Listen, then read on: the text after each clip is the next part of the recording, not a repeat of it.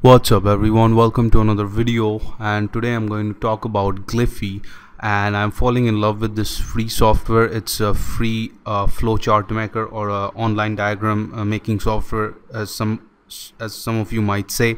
And Gliffy is so easy to use. You can use it for creating software mockups or flowcharts for any of your web project app project uh, just about anything. And it's very easy to use. So let's show you this software and tell you what's so special about it. So as you can see I have been uh, doing some mockups out here.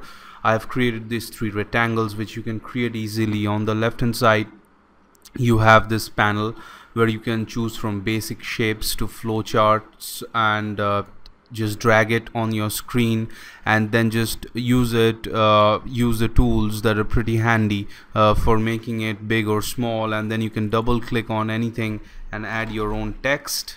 And uh, overall it's pretty easy to use. So on the left hand side uh, is the toolbar uh, which gives you a bunch of features or uh, as I should say a bunch of pre-made sketches for uh, which you may need for your flowchart diagram.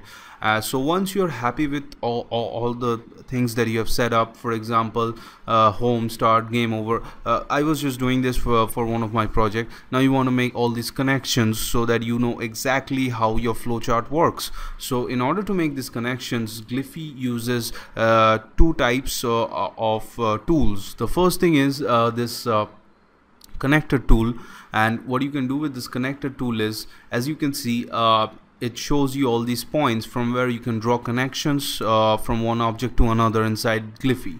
So let's say in this flowchart I want to uh, you know just uh, drag a connection from the start. I want to start the game either in classic mode or I want to start the game in time trial mode and then my connection is complete. It's that easy. Once I switch this connector tool switch off this connector tool what I can do is just uh, go back to my uh, normal arrow and just drag it and these connections will change automatically. So the software is very neat and the thing that I liked about Gliffy and, and, while comparing it to some other software out there the first thing it's absolutely free to use. You can either use it from their online website or you can use their free Chrome app. I'm using the Chrome app right now but it's basically the same thing. The second is it's so easy to use that you don't need any tutorial or anything like that. You can figure it out within five six minutes and you can start using it. And uh, then when your diagrams are all over what you can do is is you can just go to file on top and you can either save it as a PNG or a JPEG or you can even save the project itself and the, the project will be saved as a Gliffy file.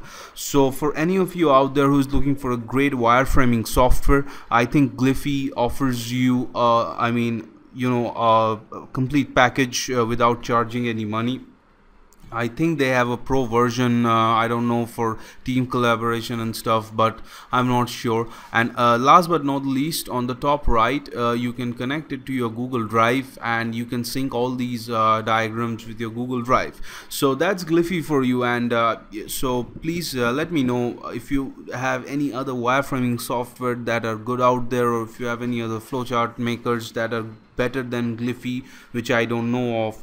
Uh, it would be nice but as of right now I am using Gliffy for all my wireframing and flowchart ideas. Thanks a lot. Please subscribe to my channel. Oh by the way I have joined a full screen uh, content network uh, so that my videos may reach more of you guys. So uh, please like my video and uh, share it with anyone who is a software developer and looking for a good alternative. Thanks and have a nice day